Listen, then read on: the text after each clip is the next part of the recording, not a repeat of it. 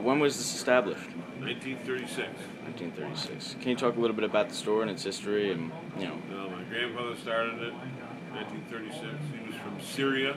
Syria? And uh, my father, after World War II, came back and he worked for my grandfather. My grandfather was sick, my father took over. All right. And my father worked for uh, 30, 40 years. Came back in 1975. And I worked him, worked with him until uh, 1997 when he passed away. 97. So it's a family, it's a family-run business. I mean, It's 1936. all right. So I am the owner now. Oh wow. Want I don't a know if that's good or bad, but I. yeah, yeah, right.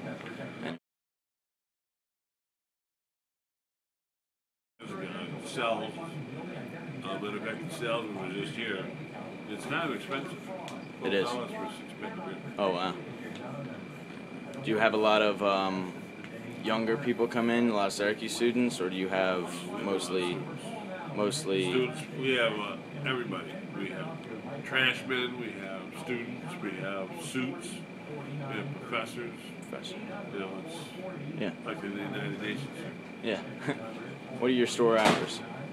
Uh, from 9 in the morning until uh, 10 at night, In the night. Monday through Saturday, and Sunday 8 o'clock. All right.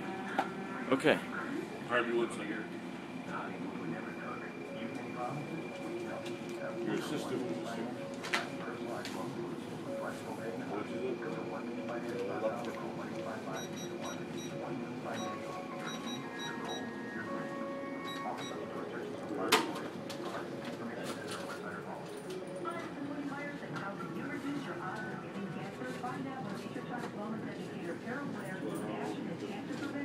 Thank you.